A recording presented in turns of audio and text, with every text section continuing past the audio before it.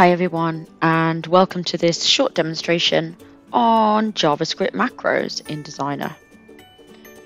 Designer is Hexagon's CAD for CAM solution and we have automation capabilities in the form of JavaScript macros in order to um, automate repetitive processes. So what I've got here is a pressed part, pressed metal part. Um, and when it gets pressed in the tool, um, it will get distorted. Okay, so we need to trim the part so it's accurate to size around its edges with laser. And we also need to drill any of these holes and slots in uh, because they will be drilled after the, the pressing process in order to have a accurate and desired part at the end. So what we need to do on the designer side is to create custom fixtures for uh, pressed parts such as these. And the parts are often very different and we need to create custom support structures for each one of those.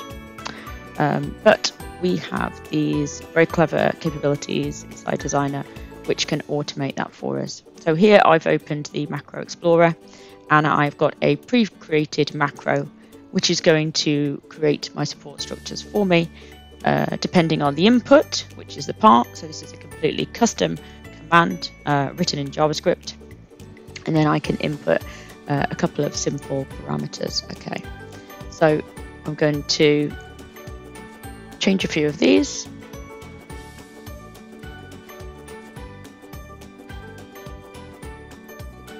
Apply, and I'm going to let designer do all of the hard work for me.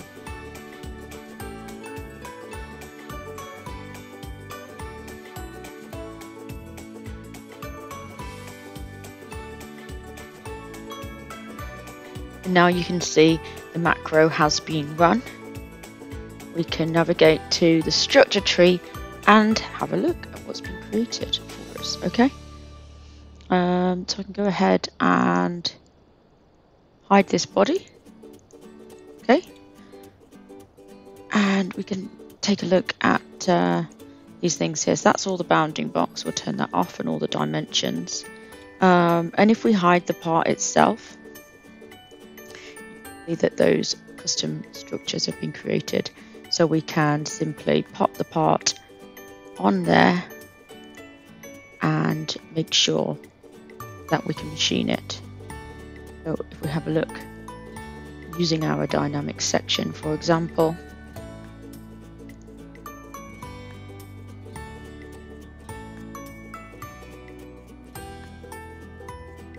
We've got plenty of clearance where any of the holes need to be drilled. That's really important. Okay.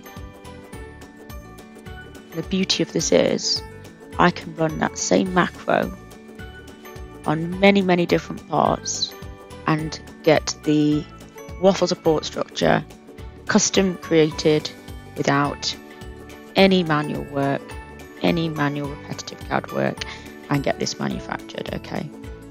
So this was just a very quick demonstration showing the capabilities in Designer of the ability to create custom waffle supports using JavaScript.